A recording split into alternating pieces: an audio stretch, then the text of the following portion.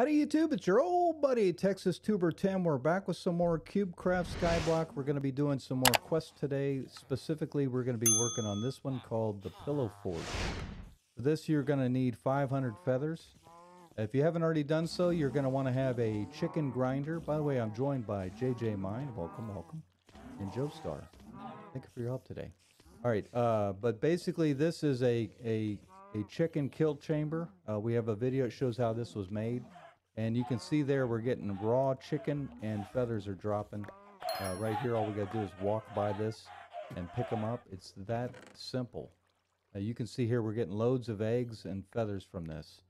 All right, so let's run back. We're going to turn this quest in, see if we get a reward. And um, so we go here. We're going to redeem this. We got 15 XP bottles and 20 eggs. Not too shabby. Well done, Joe Star. Well done, JJ Mine, wherever you went. There you are. Uh, that's it for now. Let's hear what this guy has to say.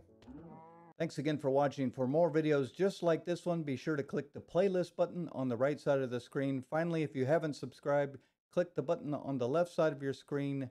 For more information about my channel, you can go to texastubertim.com, which includes all of my social links to Discord, Instagram, and Twitter. Y'all stay frosty.